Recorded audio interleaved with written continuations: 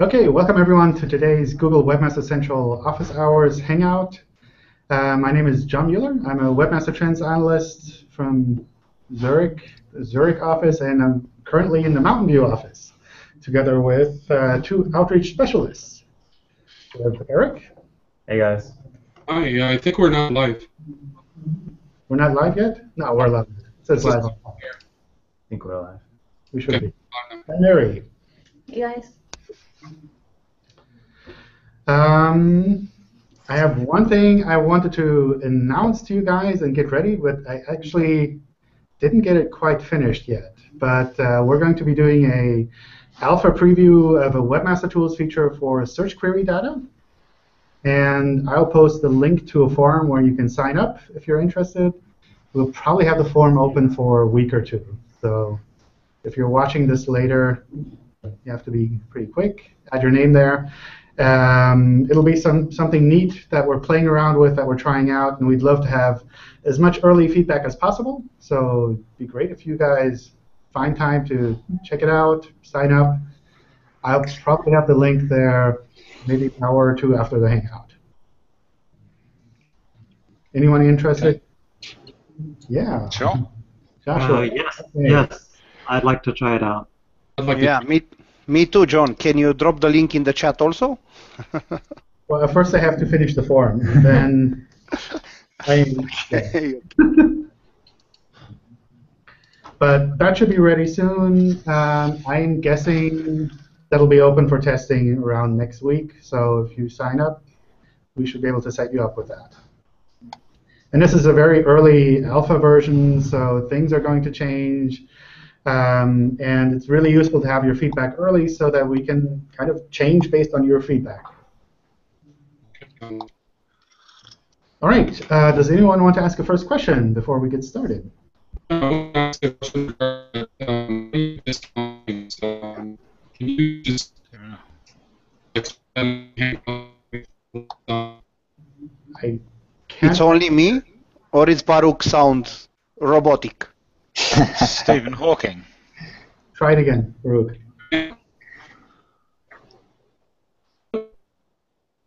No. It's not gonna work. Yeah, maybe we can get back to you afterwards. Uh, anyone else with a first question before we get started? Yeah, I have a, I have a question. Um, so, uh, can you guys hear me okay? Yes. So, I uh, work at a company called Redfin.com. Uh, we do real estate. Um, and we traditionally we built all of our pages in JavaScript. So, we rendered everything in JavaScript using a framework called Dojo. Um, recently, we learned about Google's JavaScript crawler and the enhancements that you guys made um, in its crawler. Um, uh, some of our pages uh, are being crawled by Google and indexed perfectly. Uh, some JavaScript pages. Um, however, some other JavaScript pages, uh, Google is just not indexing the JavaScript content at all. Um, and when wondering why is it that some of our pages are being indexed by the JS crawler perfectly and then others are not at all? Um, what I do there is try it out with Webmaster Tools with the fetch and render feature to see if there's anything systematic with those pages. If maybe individual requests are timing out, if it's taking too long to kind of load all the embedded content, the scripts, those kind of things, you should see some of that in Webmaster Tools. The strange thing is when we use uh, the, the fetch and render, the page renders perfectly. But when we try to search for some of the JavaScript content in Google's index, we don't find any of the content. So we don't feel like the JavaScript content is being indexed at all, despite what fetch and render shows. Okay. Um, it might be that we're crawling slightly differently and kind of timing out on some of those requests. Maybe from a technical point of view, we could crawl them uh, so they're not roboted, but maybe we're like timing out with individual requests when we try to get too much. It might also just be that this is still kind of early days for the JavaScript crawling and indexing, Mhm. that the these kind of subtle differences still kind of play a role a little bit, and that we might be able to get some of the content in properly and render it really well for search, and other content we can't completely get in. Maybe we don't have the capacity to crawl your website as much as we might want to. Mhm. Uh, these kind of things could be happening there. So if you're patient, then that's something that I assume will get a lot better over time. Mhm. Um, if you feel that there's something systematic that we're just not picking up certain kinds of pages that you can look at in Webmaster Tools but which don't really show in search, then if you can send me some sample URLs, that would be great, and we can take a look with the team. Yeah, can you? Uh, how do you, how do I actually send you those URLs? Uh, just send me a note on Google Plus, a private Uh, note. just just message in Google Plus. Okay, sounds good. Thank you. Hey, John, I had a quick question for you. Okay, go for it, Josh. Uh, very recently, Barry has mentioned that he is seeing an uptick in um, in changes in the Google SERPs, like as if there was some kind of algorithm release. I was just wondering if you could. Um, I know if it's Panda or or whatnot, you cannot confirm, but I was just wondering if you could confirm if it was Penguin and if you still have plans, if Google still has plans to run Penguin on a monthly basis, or if those releases will be announced. Um, we make a lot of changes in our algorithms, so that's really hard to nail down to something specific. I don't think it's it's related to Penguin or the Panda update there at the moment. was some kind of algorithm release. Uh, I was just wondering if um, I know if it's Panda or we make tons of changes, so it's it's really tricky. I mean, I, I can take a look at what Barry wrote up, and maybe he has some sample URLs that we can look at and sample queries. But I mean, we make hundreds of changes every year, so you're bound to see some fluctuations. Some sites are bound to see these fluctuations a little bit stronger than others, and maybe that's just like one of the many updates that we've done this year, something that these specific sites are seeing. But uh, it's it's really hard to say. Of course. Can you confirm whether or not Google is uh, committed to announce when Penguin will be released in the future, or are you moving to the monthly, non-reported uh, version? Uh, we're generally moving to a little bit of a faster update cycle there, but uh, I can't say that it'll be monthly. Uh, there might be some changes there, some fu- subtle like differences with the timing. It should be faster than the last one. So, not as juicy as you probably were looking for in the answer there, but uh, we're working on kind of moving that a little bit forward. Okay, and so just to be clear, it will be uh, announced when it releases, or it will not be announced when it releases in the future? I can't promise either one. I think if if it takes longer, if there are like bigger changes, we'll definitely announce them. If this is just like subtle updates that happen over time, then we probably won't be announcing them individually. Okay, thank you. All right. Let's go through some of these questions on the side. Any here that you guys want to answer? Um, I saw one. sorry, I saw one question about someone's site who got hacked and they had malware found. Uh, and then there were a lot of like backlinks appearing for the hack sites, and they're wondering if they should disavow. Um, they're talking a little bit about uh, ranking change because of the hack content. Um, I think that's a really good, uh, good, question. I think a lot of people, when they're hacked, they're they're trying to figure out what to do. Um, and and you know, getting hacked is very uh, disheartening. Um, so the first thing is definitely make sure that everything's cleaned up. And so if you got everything cleaned up and you file a reconsideration request, or like after we recrawl and re, re, re, reindex, you don't see the hacked um, SERP label anymore, then you're probably good to go. Um, the second thing would definitely be to secure your site. You don't want to be rehacked again because we see a lot of people get rehacked. Um, and if you are seeing a lot of these backlinks, in general, we're really good at knowing that these backlinks are from like hack sites or like bad sites. So in general, you don't really have to worry about it. But if you do identify it, you should just probably throw in the disavow file just in case. I think that's just general good practice. Um, so um, yeah, if you do identify a lot of those links, go ahead throw in the disavow file just to be safe. And um, in terms of like ranking changes, I mean, anytime something changes on your site, it's going to take a little bit of time to like um, for your ranking and, and everything to get updated again. So it might just take a little time. Um, just be patient with that. But in general, if, if uh, the hack content is gone, you should be good to go. Yeah, I can take the next one. All So the next question is, do we use uh, social signals as a ranking factor? So social signals are really good for friends or people searching online for certain things like restaurants, but they're always changing and they're consistently being updated, you know, with people classifying uh, different things all the time and it's changing constantly, daily, or by the minute. So we don't use that as a ranking factor, but it's still very useful for your users or for visitors to your restaurant, to your site, to your blog. All right. Here's an important one. Uh, is there any technical border for thin content? For example, 300 words is thin, but 305 isn't. Uh, how can we recognize that content is a problem? Any of you want to handle that? Um, Are we okay with 307? 300 305. 303.125. Um, no, I, I think uh, so. I've worked on the search quality team before. Um, you know, um, so we, we do see a lot of these sites. There's it's not about like a specific number that you're you're looking at. It's in general just looking at your user experience. If a user finds that duplicate content is like it's not good to look at. Like if if it's very similar to something else, a, a user probably doesn't want to see you know duplicate results. So in general, I, I wouldn't be focusing too much on like a hard number or like a specific technical specification. Um, if you're really concerned, run it by a couple of your friends and be like, hey, I, I, I have this article and this article I guess is similar. Would you take a look and see if it's a, a good article? Like, is it significantly different?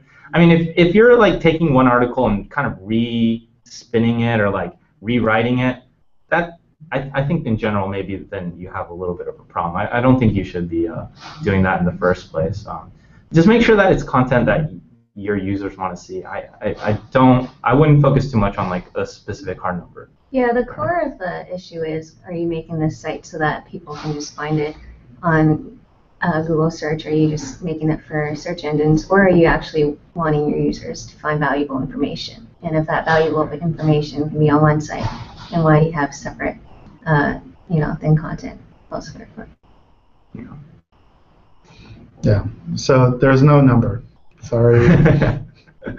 but I, I think that's also useful because then you can focus on your content itself instead of trying to count the words because that's not really a good use of your time. Probably. All right. What do we have? Uh, is external link data in Webmaster Tools dependent on whether the links have been clicked or not? Um, in other words, uh, do old links suddenly get surfaced in Webmaster Tools because first time clicked and therefore added to the visible pool, just chasing a logical explanation? Uh, no, the link data in Webmaster Tools is really based on the links that we find by crawling.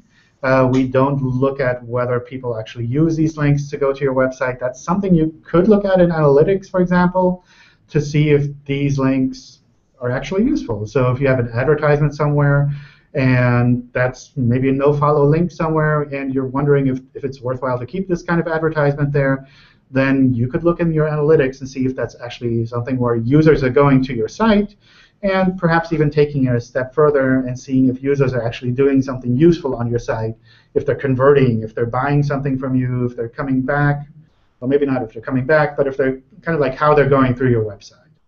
So from that point of view, I think whether users go through a link to your site is something that's useful for you as a webmaster, but not necessarily something that we use for finding links in on the web. We're pretty good at crawling the web. We've been able to kind of like follow links for a really long time now.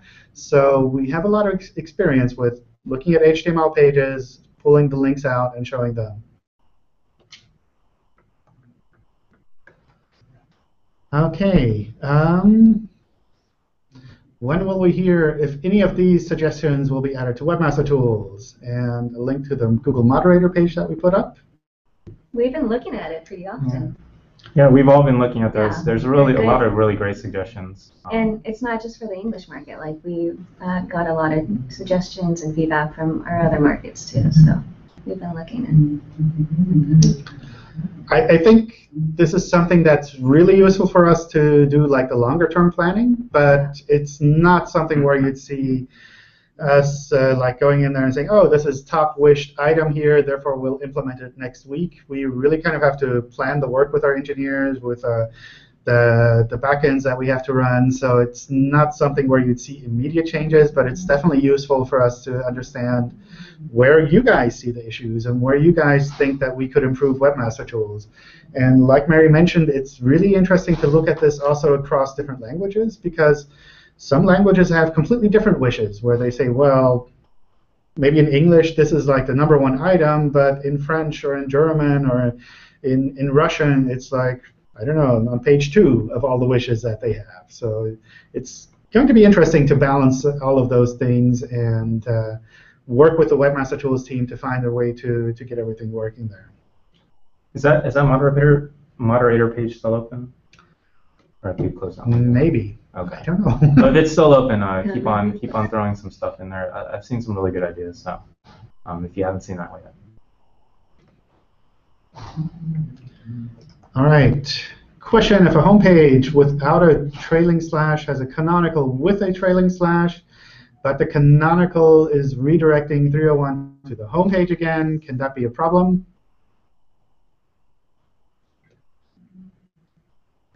Um, so I think in general, in a case like this, you're kind of giving us inconsistent signals. On the one hand, you're saying that actually the URL is like this with a slash. On the other hand, when we try to crawl that page, you're saying, well, actually it's the URL without the slash that, that you want to have indexed. So that doesn't cause any problems in the sense that we won't index the site at all, that we'll like demote it in rankings, but it'll make it harder for our, our algorithms to pick the right URL. So on the one hand, we'll see this URL. On the other hand, we'll see the other one. Maybe we'll fluctuate between the two depending on when we crawl. Um, but that doesn't change how this content actually ranks. So it's kind of inconsistent in that you don't tell us which URL you want to have shown, but it's not going to cause any problems in the sense that your site's going to drop in rankings or that our algorithms are going to think, well, this webmaster doesn't know what he's doing, therefore we're going to ignore his site completely. It's essentially just um, a choice of URLs that you're kind of giving us confusing information about. It won't cause the rankings to kind of drop. All right. Subdomains. You want to take one? Yeah, I can answer this one. So we're very good about understanding whether your subdomain is related to the domain. Like if you have content that's specifically different, but at the same time, if you are on a ho free host and the free host has a lot of spammy sites, for example, then we may take uh, manual action on the entire free host. So it depends on what kind of free host you're on. And if uh, you see that the free host has a manual action and it's affecting your site, then you should also probably reach out to the free host webmaster or uh, their contact list to ask them to just clean up the site or clean up the spam on their end.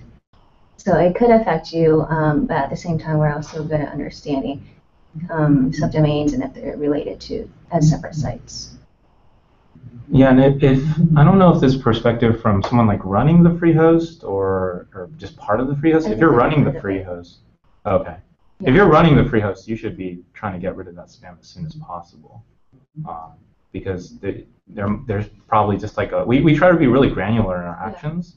So if, if there's something wrong and, and it's affecting the entire site, there's probably just like an egregious amount. Um, and, and if you're part of the free host, I would definitely tell your free host that. Like, really point that out to them. Just be like, there's a lot of bad content, and the people using your your service is really being affected negatively.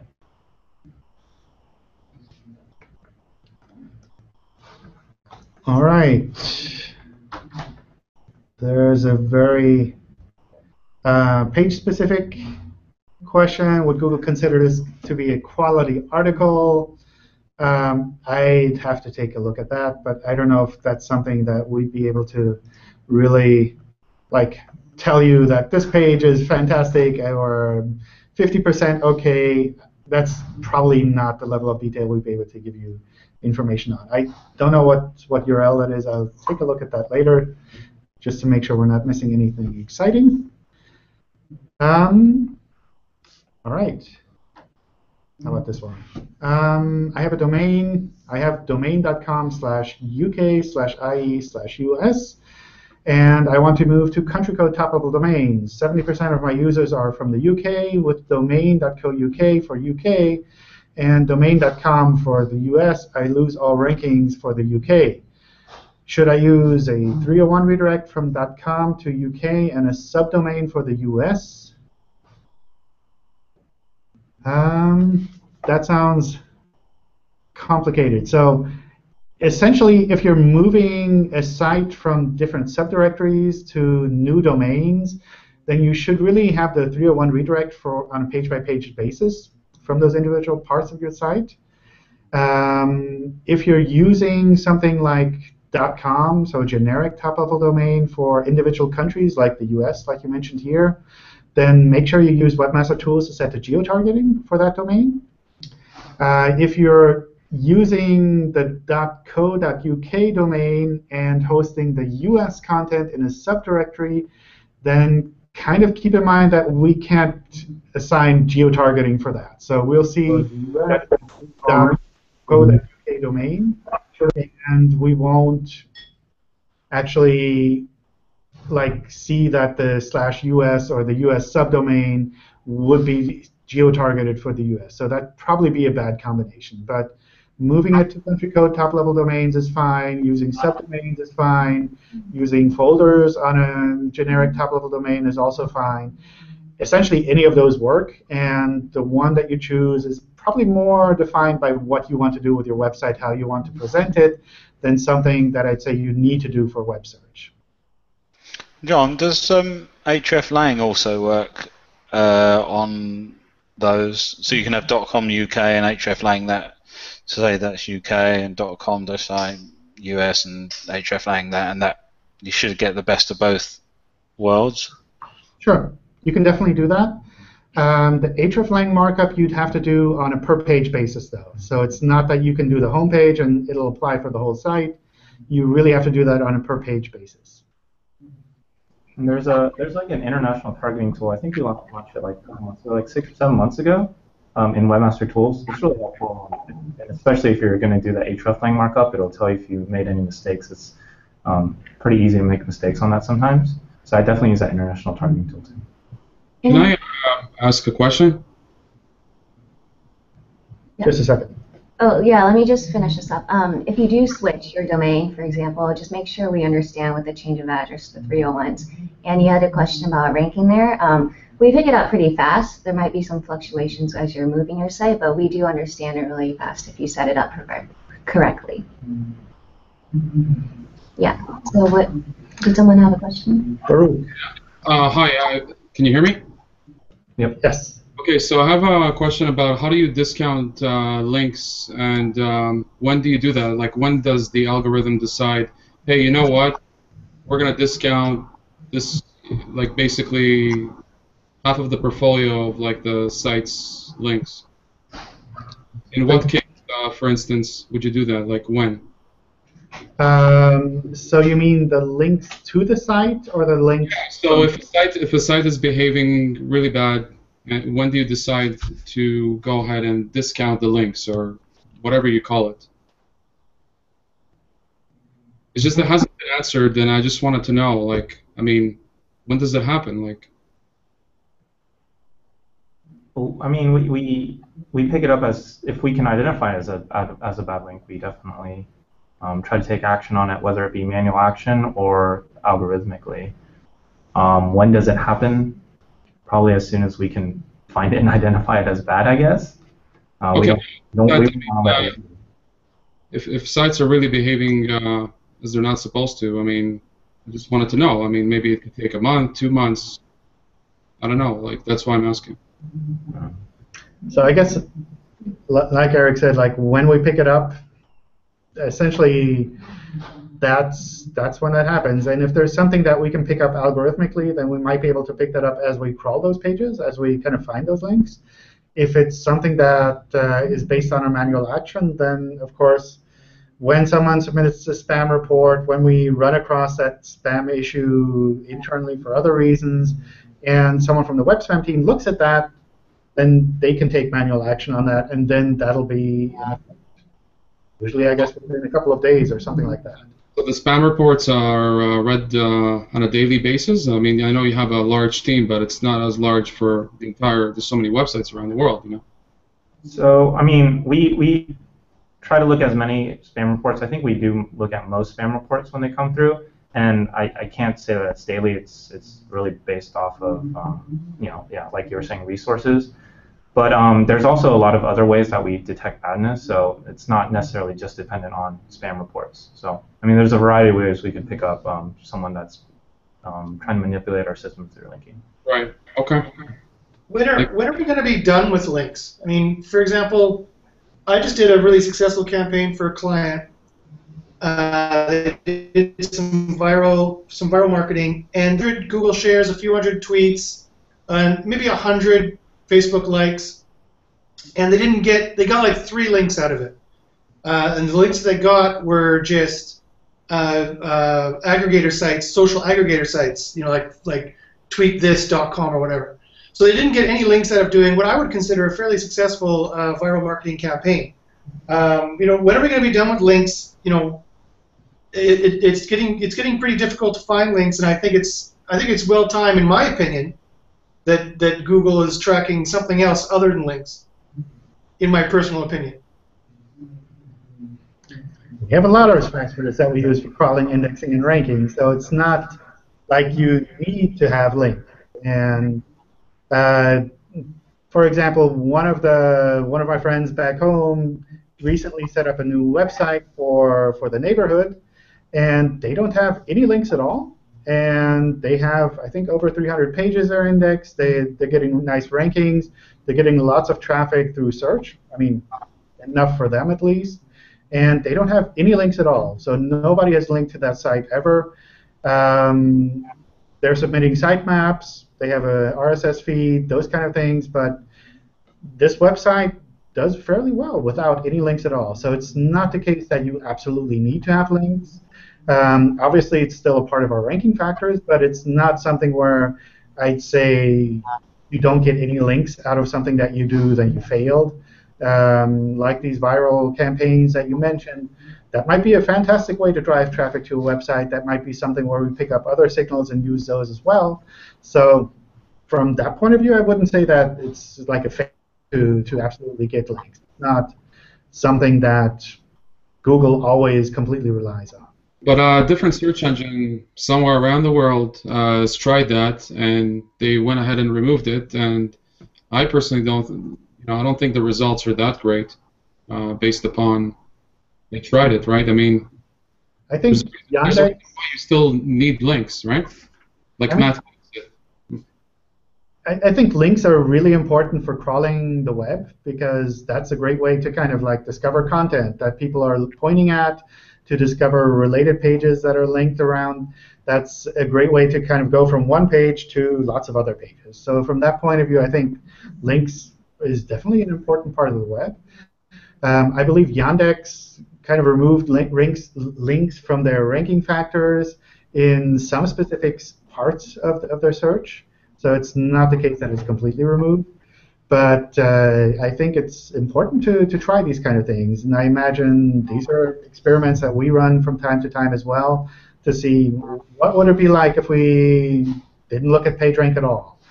How would the search results look like? What other factors could we look at? And I think that's something that any search engine has to keep asking itself and kind of keep challenging itself and saying, hey, just because this is something we've always done doesn't mean it'll always be like this. Uh, maybe at some point people won't have any links at all.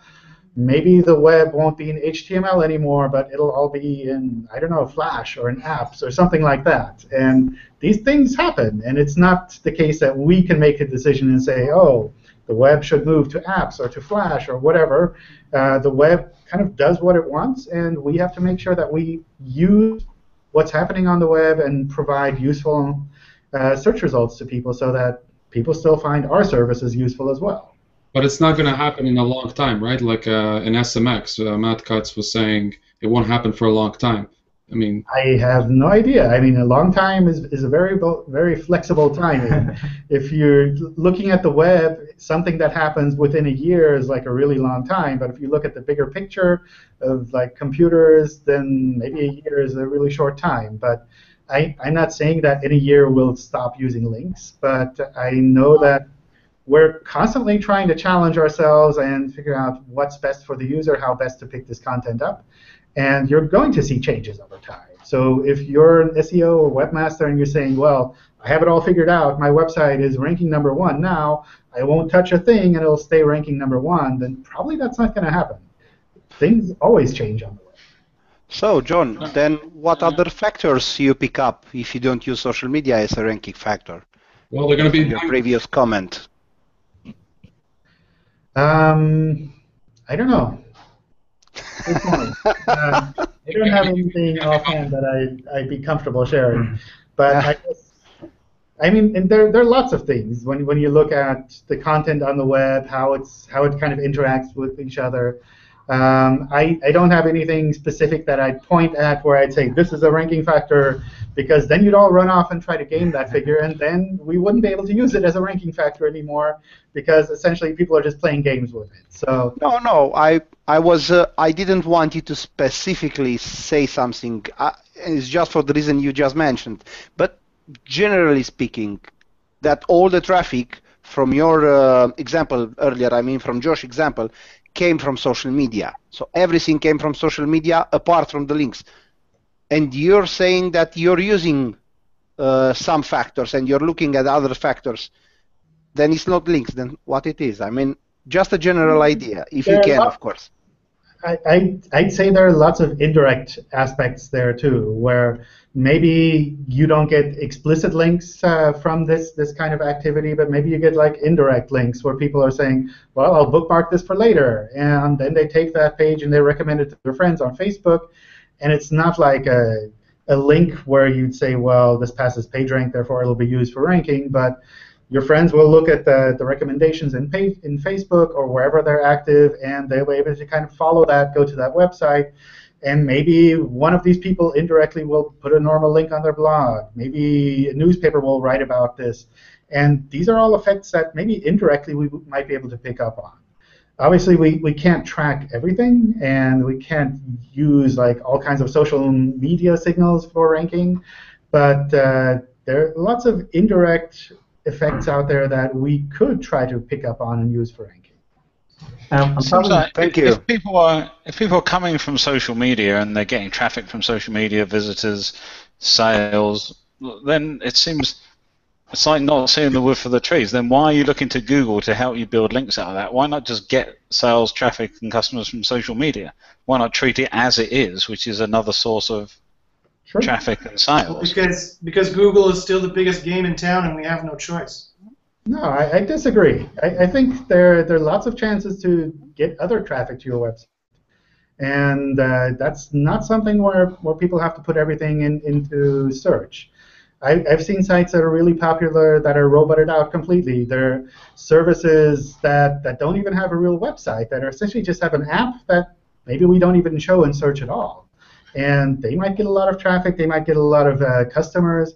It's not the case that everything has to lead to search. And at It some entirely point, depends on your business model. I mean, there are companies like Zynga that have just built games that people don't search for those; they just find them on Facebook or they're shared. I'm not saying my business could rely on it; it absolutely couldn't. But there are plenty of things now that appear on social media, which admittedly are generally just clickbait, but they, they make their money from finding you on social media, getting you onto their site, and getting advertising revenue.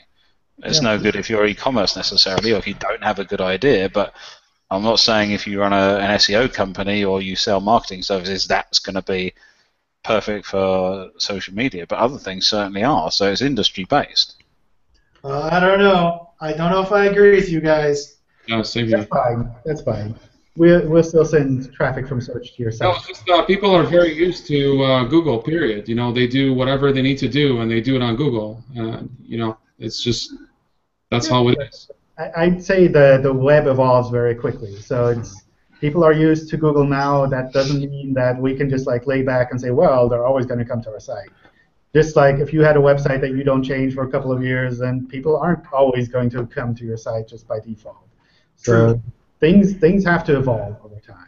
So, And just wanted to give you an example. I guess a lot of the practices we recommend also apply to any other kind of users that you drive to your site. If you have a really fantastic website that's useful for your users, then that'll work regardless of the kind of traffic that you're getting. It's not the case that you have to build a specific website for social media and a different one for search. You can make a fantastic website that just works for your users regardless of how they come. I'm probably going to sound like a broken record, and I'm, I'm sure everybody's heard about this before, but content quality and, and relevance are what's important to us. As a search engine, we want our users to have good content and relevant results. So, so when we're talking about links, things like links, they, they are a signal of good content and relevance. So don't think of links as like an end-all be-all, like I have to get links, I have to get links. Or don't think of like social media, I have to get a whole bunch of clicks and everything. Just think about what your users are looking for. And if you're thinking about from perspective of Google, what people are Googling and trying to search for when they're looking for your website.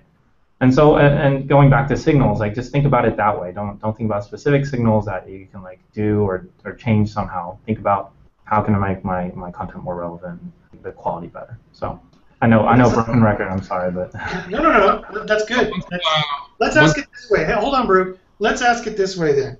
Um, I, I if just you had to choose, what, what is the better signal uh, for for Google? Relevance, directly tracking relevance, or indirectly tracking relevance through shared signals? Would Google rather read relevance directly and quality directly, or would they rather tell there's quality and relevance through indirect user signals, whatever they may be? why not have both? Both, of course, is the answer. Yeah. How, how good is Google tracking the former uh, opposed to the latter these days? Because it used to be the reason why you guys started tracking links in the first place is because that was a really great way of telling what was relevant online because everyone was linking to it. Now, with the technology you might have at your disposal, how uh, comfortable is Google directly looking at relevance and directly looking at quality signals as opposed to having to rely on third party information? I don't think we have uh, like a magic answer for Yeah. you. Josh. How I'm would you asking, measure I'm- re- it's a philosophical question. I'm asking for a philosophical answer. I'm not. I'm not looking for anything specific.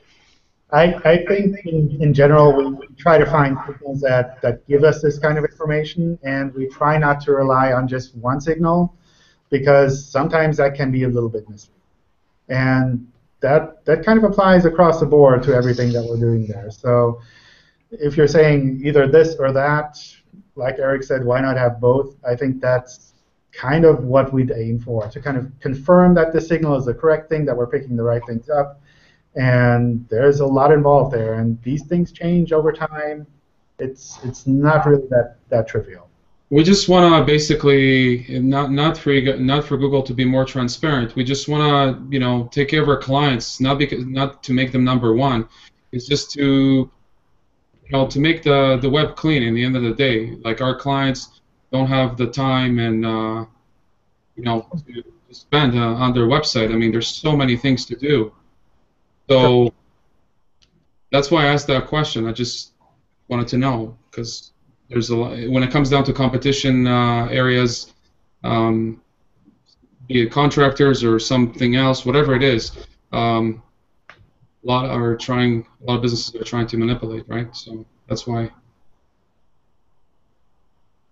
I asked that question. Yeah, that's always tricky. Find the right one. Right. All right. John, I have a different question.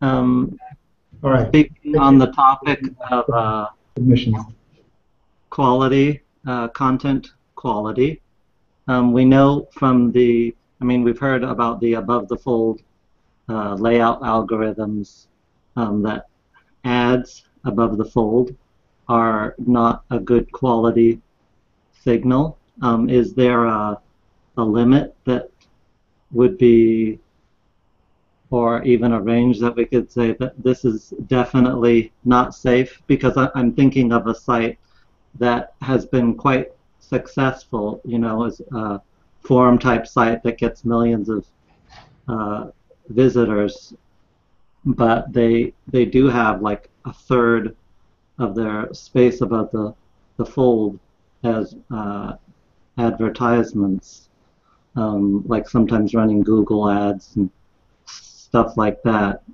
Do you think that's uh, too much, or do you think that because they're getting enough other uh, quality signals that that would be overlooked?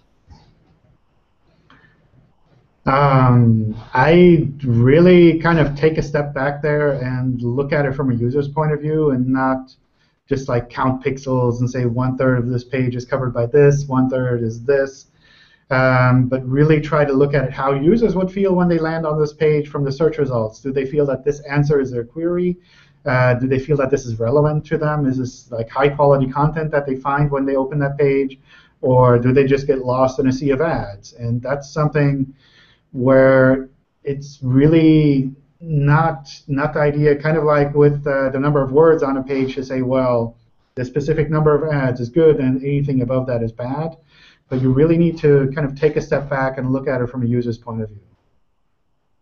Okay, so uh, the, the, the user's reaction to that action reaction may, may be a more important.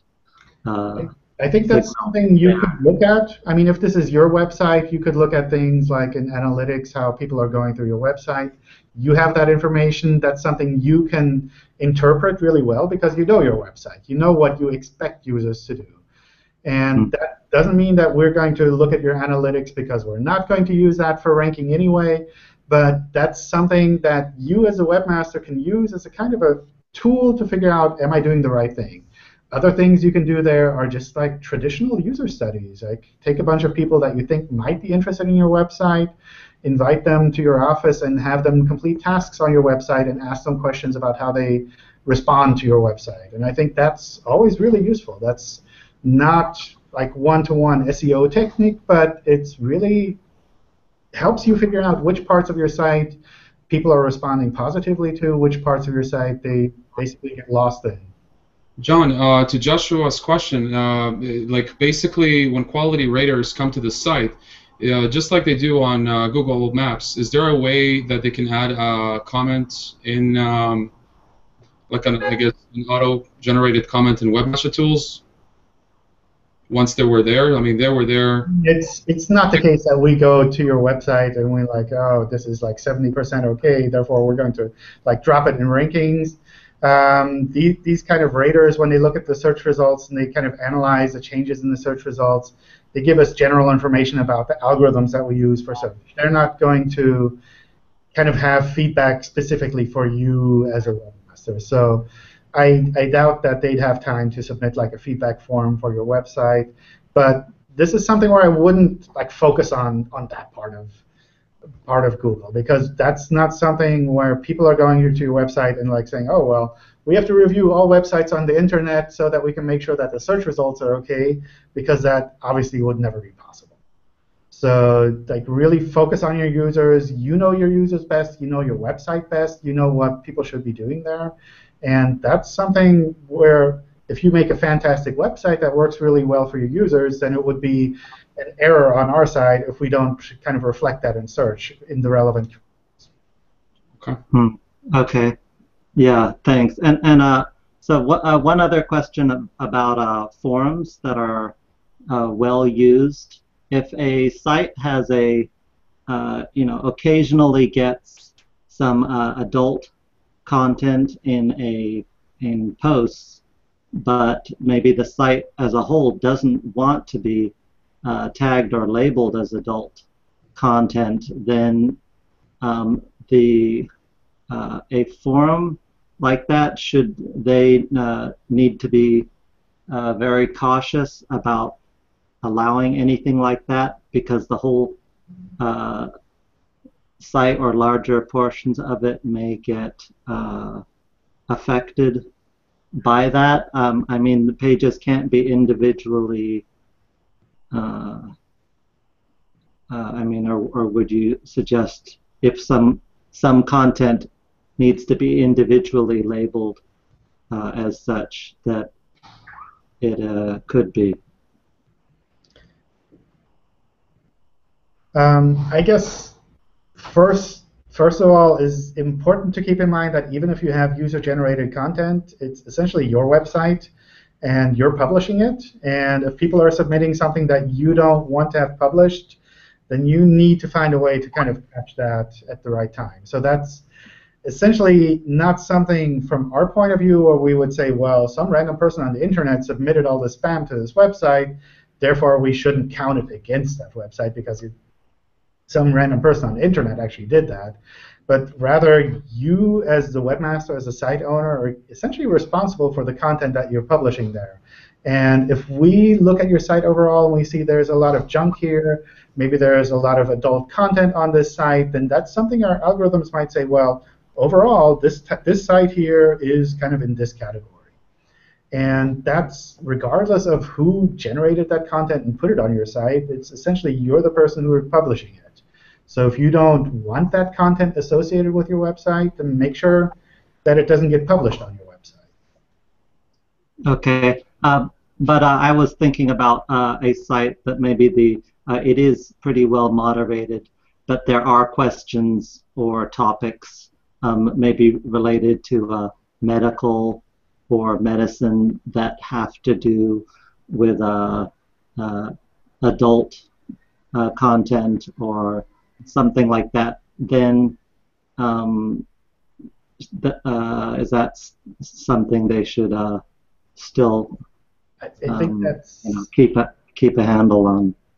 that's kind of up to you. I mean, a, as a webmaster, you kind of decide how far you want to go, what kind of content you want to have published.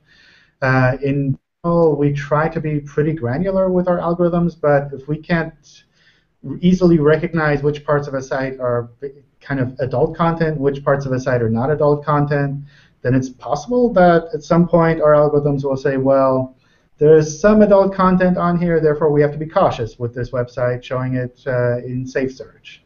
So that's kind of a decision that you have to make as a webmaster and say, well, I'm okay with my website being like this. Um, I'll accept what people are publishing there, or maybe you'll create a separate part of your website that has the adult content. You say, well, everyone who has questions on these topics should go to this part of the site, something that's either blocked from crawling or indexing or just clearly separated from the rest. Hmm. Okay, yeah, and I was thinking it as a relatively small portion Sure. of Yeah. uh, the site. but, uh, That's essentially up to you. all John, right, then. Let's, let's grab some of the questions that, that were left here. Uh, do you see any that you want to Yeah. jump in? I like the question about the large franchise. Which one? This one? Yeah. So right. what are our best best practices? So ideally, when you're making localized websites, you're probably you have a product or you have a service in that region, right? So you know the hours, the map of the location, phone number, just anything that's relevant to the local place. And if they are in different languages, you know, use the hreflang option too. And to ensure that it's not duplicate, like if you're making it for local regions, local languages, then you know you have different hours, you have different locations, you have different phone numbers, and we're going to understand that. And I see a lot of good um, examples of that. A lot of like car sharing um, startups here in the Bay Area that's expanding to other countries. They're making a lot of localized websites, but on the same domain, but they have different information. You know, they have different prices too.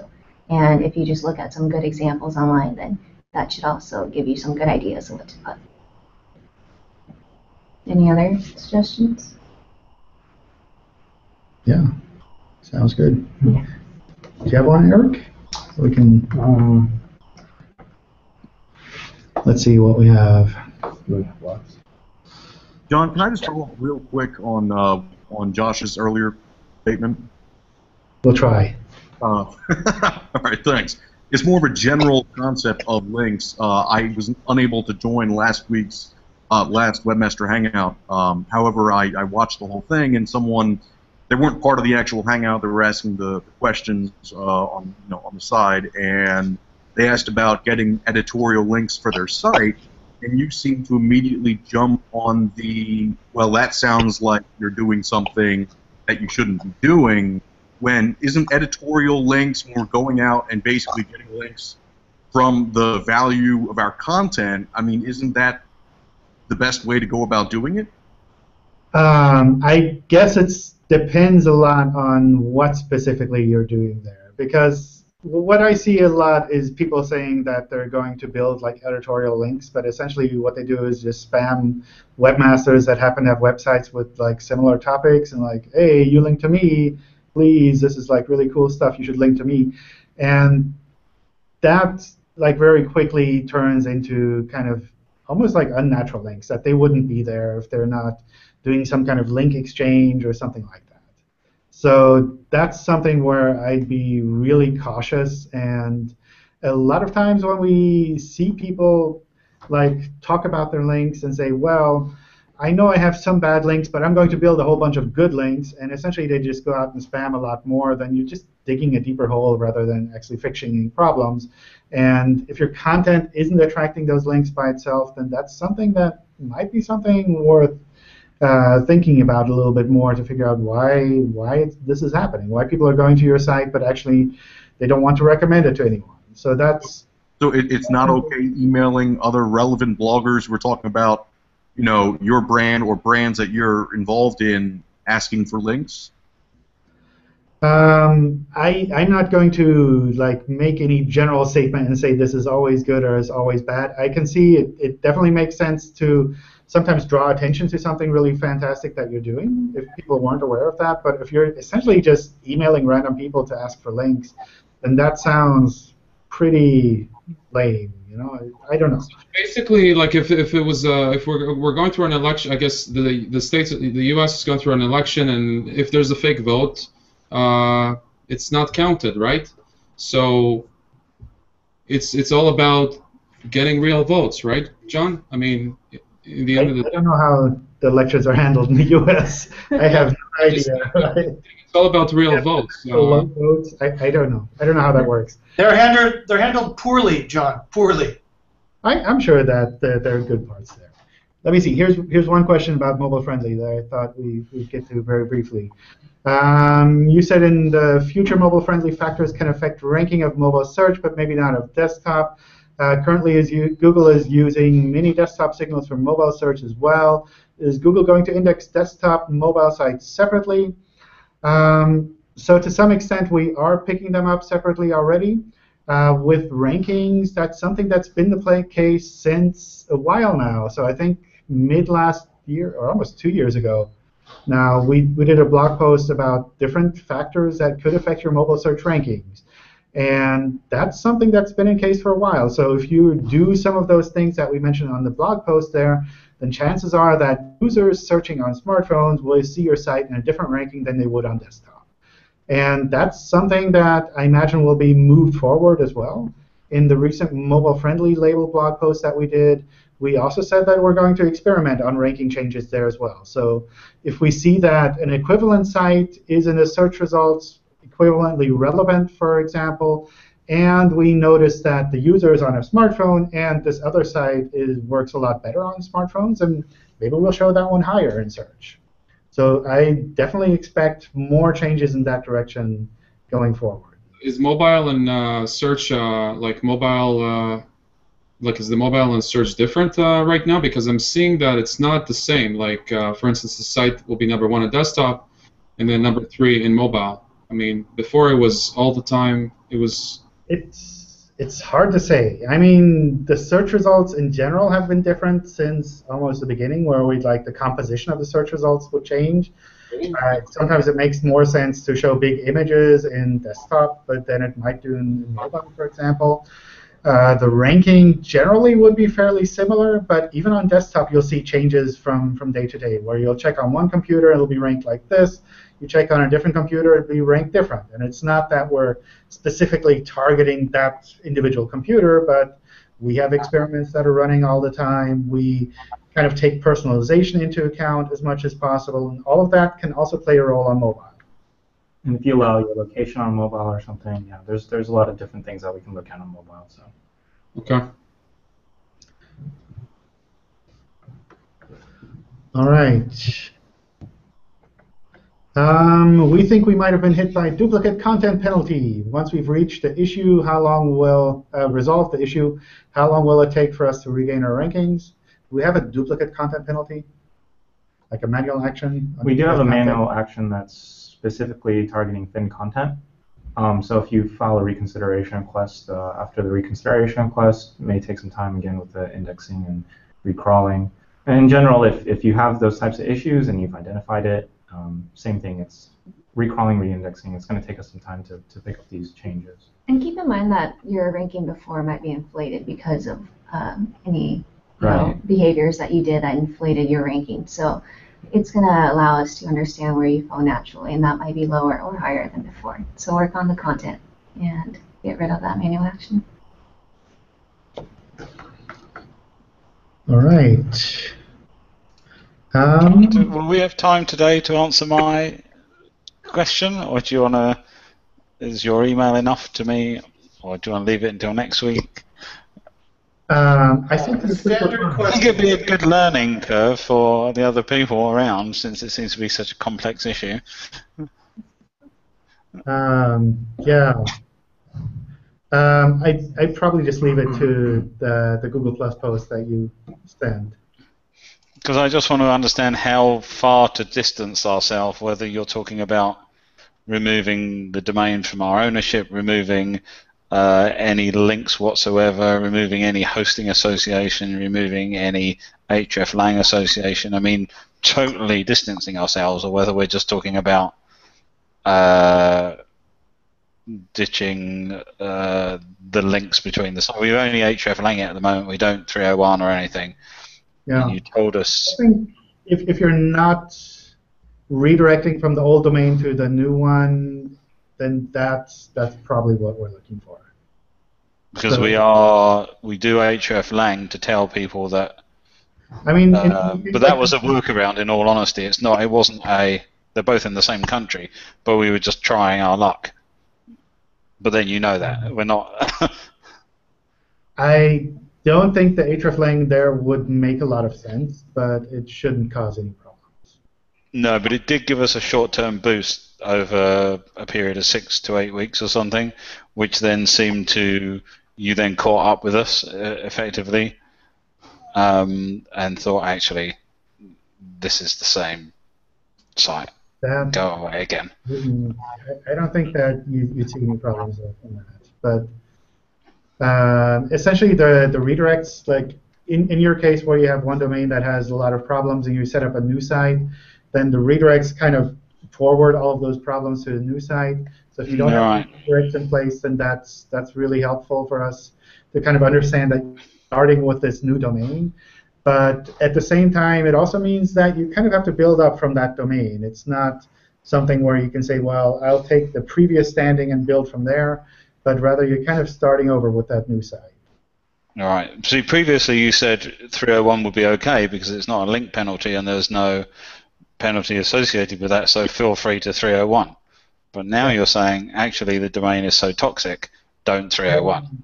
I, I think in your specific case, I'd avoid redirecting now. Yeah. All right. So we're basically starting a new 10-year-old business with Well, no. Uh, I don't know. It's you. You still have a lot of things that essentially people know about. People are going to your site. So I think on from that point of view, that's you're not starting exactly at zero, but uh, it's it's definitely not an easy situation. So yeah. Uh, I know. And we have to keep that live, that site. We have no choice because we're a gift certificate company, so people have that domain to visit within printed literature and have for the last 10 years. And in the US, gift certificates don't expire, so they have to visit it. Yeah. So we can't not have it there, but how far do we distance ourselves from it in order for it to no longer ever be a problem? Um, I, in general, if you're setting up the new site, if you're not redirecting, then that's that's a good sign for us that these sites are actually separate.